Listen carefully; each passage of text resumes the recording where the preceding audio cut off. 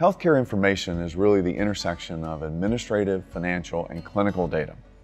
At Availity today, we pass 13 billion transactions through our network, representing $2.5 trillion of economic activity between providers and health plans. We have a nascent uh, business in clinical, and we've had some great success in connecting providers and health plans for the exchange of clinical data. Today, I'm excited to announce that we have completed the acquisition of Diameter Health. Diameter is in the business of clinical information exchange. They've built a phenomenal business around taking that clinical data, standardizing it, creating structure to it, and delivering out to health plans and providers for very targeted use cases.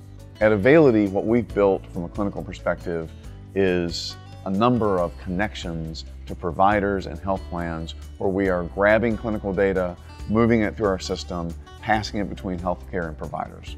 What we've acquired with Diameter is a refinery.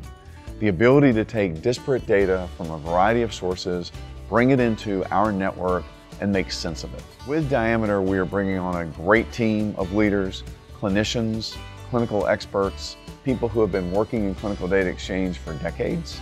They will become a part of the Availity team. We're very excited to have Diameter as a part of the business. Uh, we're very excited to have the Diameter team join our team, and I look forward to sharing more with you as we engage in this integration strategy uh, and begin to bring Diameter into Availity. Thank you.